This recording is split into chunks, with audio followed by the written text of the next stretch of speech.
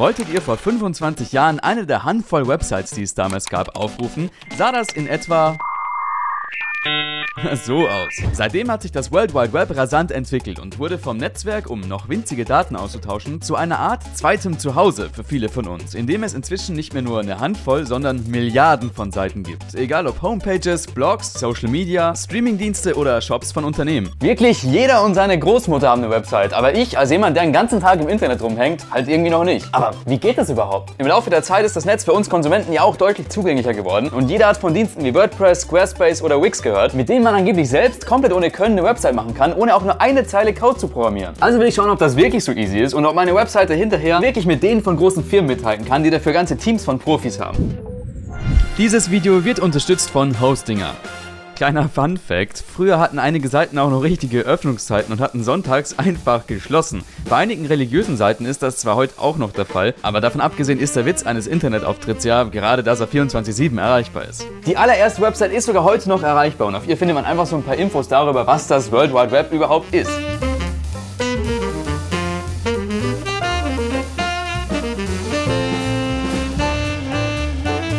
Die Technik entwickelt sich und mit JavaScript, CSS, Flash und besseren Internetleitungen werden Webentwickler immer mächtiger. Und diese Macht wurde auch erstmal ausgereizt.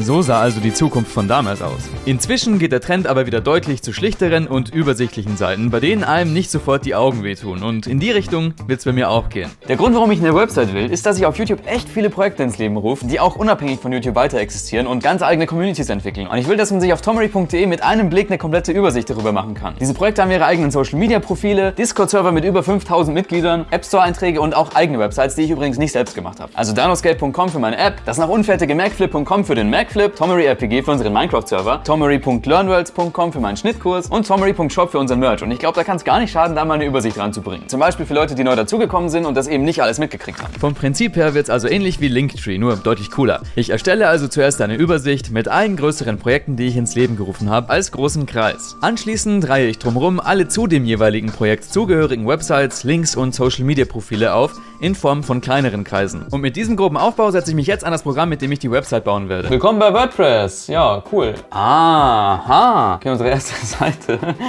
Hallo, wo bin ich?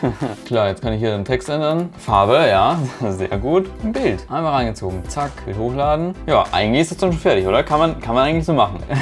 Entferne mal alles, damit ich einfach eine blanke Geschichte habe hier. Jetzt haben wir mal drei Sachen. Das hier kommt weg. Als nächstes will ich um die Hauptbuttons herum die kleinen Buttons anordnen, wie in meiner Skizze. Und das ist gar nicht mal so leicht, weil eigentlich alles immer in Boxen angeordnet wird.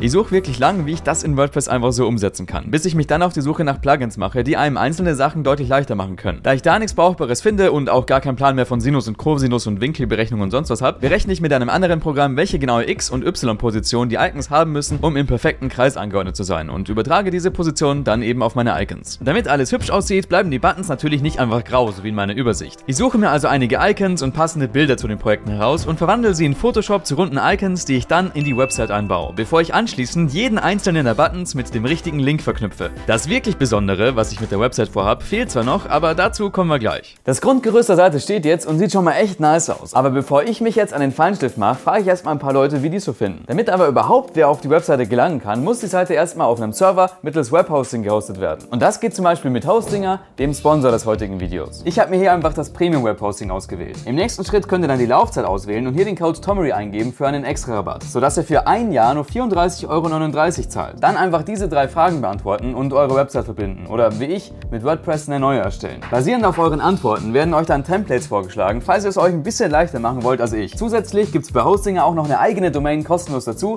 die ihr hier auswählen könnt. Nachdem die Website bereit zum Veröffentlichen ist, klicke ich einfach hier im Age-Panel auf Veröffentlichen und zack, kann alle Welt 24-7 darauf zugreifen. 24-7 steht übrigens auch die Kundenbetreuung bei Hostinger zur Verfügung, falls ihr mal Fragen habt. Klickt auf den Link in der Videobeschreibung, wenn ihr ganz easy für wenig Geld und in wenigen Schritten auch eine eigene Website erstellen wollt und nutzt den Code Tomery für extra Rabatt auf alle Hosting-Pakete. Und falls ihr euch doch anders entscheiden solltet, gibt es eine 30 Tage Geld-Zurück-Garantie. Gebt mal tomery.de ein. Das kriege ich hin. Es ist noch nicht fertig, ne? da fehlt noch der Feinschliff, aber bevor ich mir jetzt einen Feinschliff mache, wollte ich erstmal eine zweite Meinung, damit ich hier nicht Sachen umsonst mache. Das habe ich auch gerade gesehen. Das ist je nachdem, guck mal, je nachdem wie das skaliert ist, sieht das anders aus. Das heißt, da muss ich auf jeden Fall auch noch drauf, dran denken, dass man ja alles responsive äh, designen muss. Aber das stimmt, gerade bei den Dynascape-Dingern da hier. Ja, und da auch rechts bei Premiere Pro Oh ja, Transitions. oh ja, das ist ganz so. übel. Also ich muss sagen, ähm, es ist sehr viel Info. Ich mache eigentlich hier gerade meinen, meinen wirklichen Job, ne? Also Ja.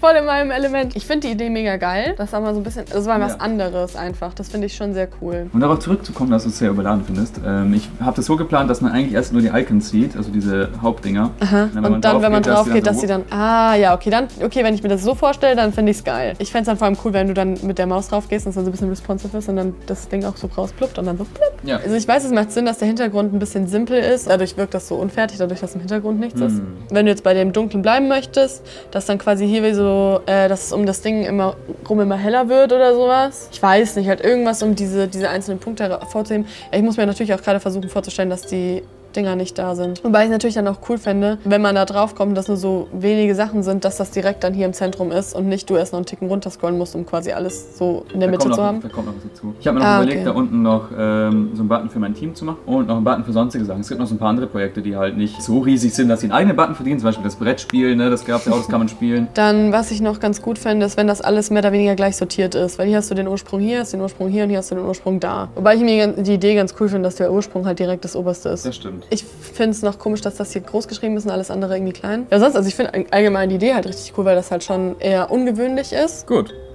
Dann setze ich mich mal ans Feedback. Gesagt, getan. Wird das Feedback also umgesetzt, was sich vor allem auf die Texte bezieht. Außerdem füge ich noch einen Button für mein Team hinzu, wo ihr, wenn ihr wollt, auch deren Social Media abchecken könnt, falls euch interessiert, wer hier alles so mitarbeitet. Außerdem kam noch ein Button für sonstige Projekte hinzu, wie zum Beispiel mein eigenes Brettspiel oder den TikTok-Kanal unserer Hündin Mai, welcher Fia und ich ja mal das Sprechen beigebracht haben. Du hast Angst? Wovor hast du Angst? Wir glauben nicht, dass sie Angst vor Sophie hatte, sondern dass sie einfach verunsichert war, weil sie nicht verstanden hat, was die Sophie da gerade macht.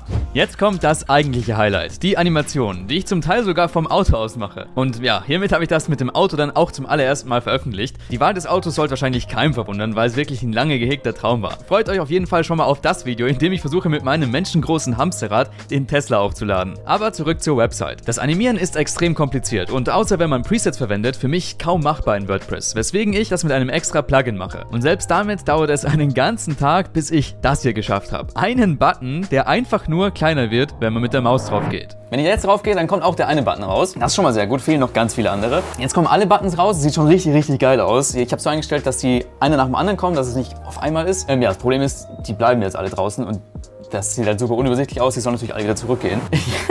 Jetzt ist das Problem, dass die Buttons kommen, wenn ich auf diesen einen Button draufgehe, aber wenn ich dann diesen großen Button verlasse, dann verschwinden die kleinen wieder. Naja, und dann kann ich die ja nicht anklicken. Gut, also was jetzt der Fall ist, weiß ich überhaupt nicht. Okay, ich glaube, ich habe es gerade komplett zerschossen. Ich weiß nicht, was das sein soll. Und ich gehe runter und es funktioniert. Der erwischt nach. So, rein, raus, perfekt. Es funktioniert. Jetzt geht's endlich mit allen und das war ultra aufwendig. Es ist umso schöner, dass es jetzt so gut klappt. Ähm, manchmal backt hier noch ein bisschen rum, aber ansonsten sieht das doch sehr, sehr gut aus. So, jetzt habe ich es auch so eingestellt, dass sich diese kleinen Bubbles auch noch bewegen, dass da irgendwie ne, ein bisschen noch mehr Leben drin ist.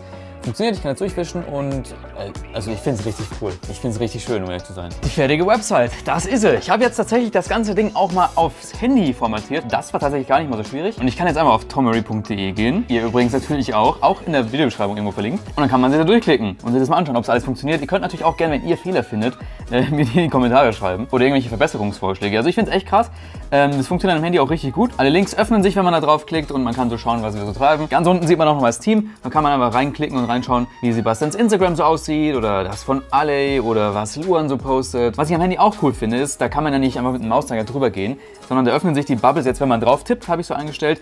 Und ähm, ja, die Bubbles ziehen sich erst dann zurück, wenn man auf die nächste drauf tippt. Das finde ich so eigentlich echt ziemlich cool gelöst. An Zeit gebraucht habe ich dafür jetzt übrigens mit allem drum und dran und Planung und so weiter und so fort fünf Tage. Ja, und das für nur eine einzige Seite. Wenn ihr jetzt auch Lust bekommen habt auf eine eigene Website, dann schaut mal in der Videobeschreibung bei Hostinger vorbei. Mit denen ist es überhaupt kein Problem. Und wenn euch das Video gefallen hat und ihr gerne mehr sehen würdet, abonniert gerne, lasst dem Video auch gerne ein Like da. Schreibt mir gerne, was ihr von der Website haltet. Und dann sehen wir uns beim nächsten Mal wieder. Macht's gut.